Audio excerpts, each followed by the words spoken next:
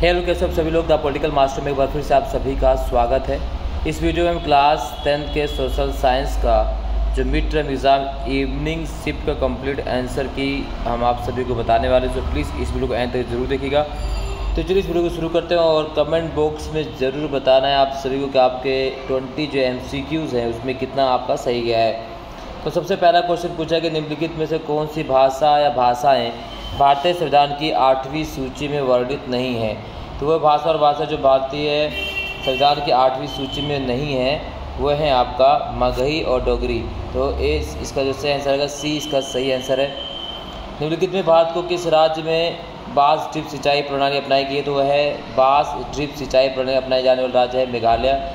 श्रीलंका में गृह युद्ध कब समाप्त हुआ? तो श्रीलंका में गृह युद्ध समाप्त हुआ 2009 में।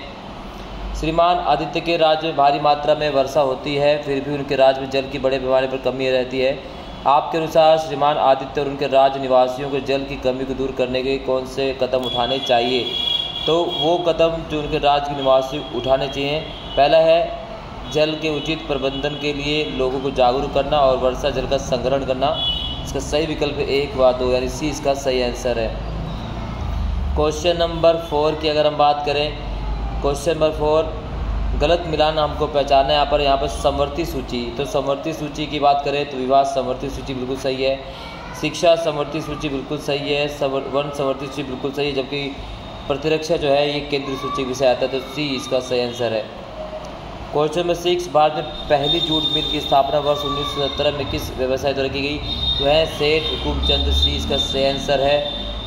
सही मिलान की पहचान कीजिए। तो अगला जो सही मिलान है इसमें सही मिलान की पहचान करना है क्वेश्चन का।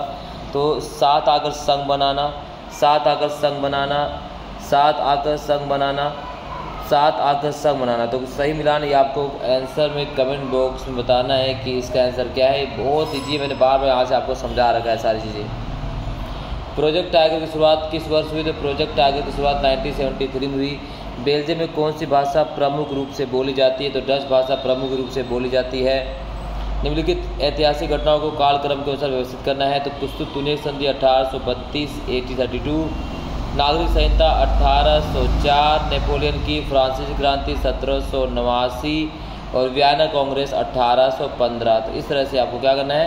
व्यवस्थित करना है तो सबसे पहले आपका आएगा सत्रह सौ नवासी की फ्रांसीसी क्रांति।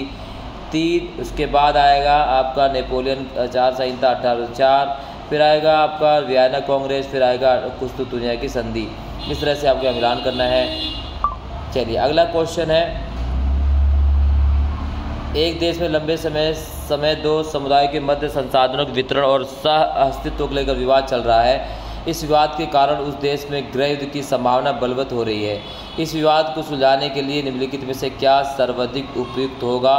तो वो होगा, दोनों समुदाय की मांगों पर चर्चा वार्तालाप के माध्यम से सुलझाने का अवसर प्रदान करना चाहिए। सी, इसका सही आंसर है। गलत कथन की पहचान कीजिए तो गलत कथन वह है, पंडित जवाहरलाल नेहरू ने हिंद स्वराज नामक पुस्तक रचना तो गलत हुई है, क्योंकि हिंद स्वराज पुस्तक किसने लिखी थी? महात्मा गांधी ने। इनमें से किस राज्य की काली मृदा जाती है? तो महाराष्ट्र में जो है काली मृदा पाई जाती है। चलिए इसी प्रकार से उचित मिलान करके सही विकल्प का चयन करना है। तो सुंदरवन राष्ट्र उद्यान कहाँ है? पश्चिम बंगाल में है। पेरियार कहाँ पर है? तो केरल में है। इस तरह से आपको क्या करना है? इसका जो सही आंसर होगा, आप देख सकते हैं। तो यहाँ पर इस तरह से आपको कवर करना है। सुंदरवन क्या है? तो सुंदरवन आएगा आपका पश्चिम बंगाल। तो ए का डी, पेरियार, केरल कहाँ पर है? तो दो, यहाँ पर आप देख सकते हैं। तो थ्री का जो हो जाता है वो बी तो थ्री का बी तो इस तरह से बी इसका सही आंसर है।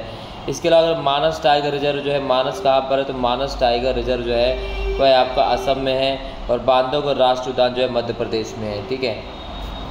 निम्नलिखित विशेषताओं के आधार पर मृदा की पहचान कीजिए तो वो मृदा है आपका क्वेश्चन पूछे, इन मृदाओं के गठन में पर्वतीय पर्यावरण के अनुसार बदलाव आता है।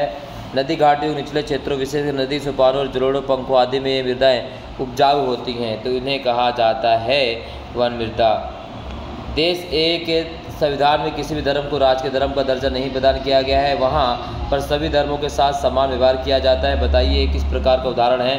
तो इसे कहा जाता धार्मिक समानता। क्या कहा जाएगा? धार्मिक समानता ए। क्वेश्चन नंबर सत्रह की अगर हम बात करें, क्वेश्चन नंबर सेवनटीन, नीचे दे कथन है, भारत में वन्य जीव आरक्षण अधिनियम उन्नीस में आरंभ हुआ, जो कि बिल्कुल गलत है। वन्य जीव का संरक्षण की जगह प्रत्येक नागरिक के बिल्कुल कारण सही है। तो अभिकथन ए गलत है तो कारण आर सही है। तो इस तरह से इसका जो सही आंसर है, अभिकथन ए गलत है और कारण आर सही तो डी इसका सही आंसर है। सात वर्ष और उससे अधिक आयु के लोगों के में साक्षर जनसंख्या के अनुपात साक्षरता दर है। सात वर्ष बिल्कुल ठीक, कथन सही है और कारण गलत है तो अभी कथन ए सही और कारण गलत है तो अभी कथन ए सही और कारण गलत आएगा सी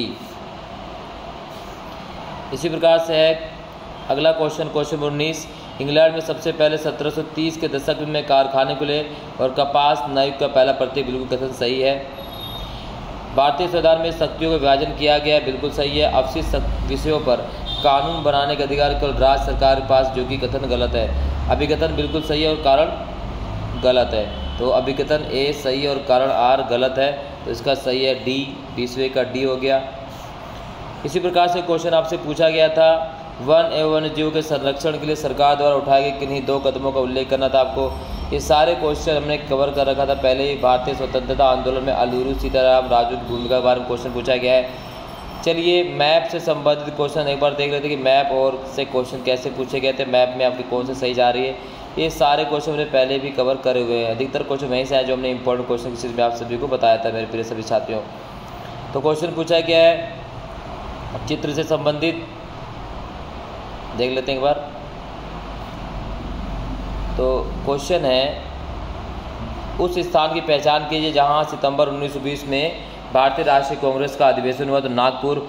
उस स्थान की पहचान कीजिए जहाँ महात्मा गांधी सूती कपड़ा मिल के मजदूरों के समर्थन में सत्याग्रह किया, अहमदाबाद, गुजरात। इसी प्रकार से अगला है हीराकुंडा बाँध, कहाँ पर? तो हीराकुंडा बाँध का आपका है उड़ीसा।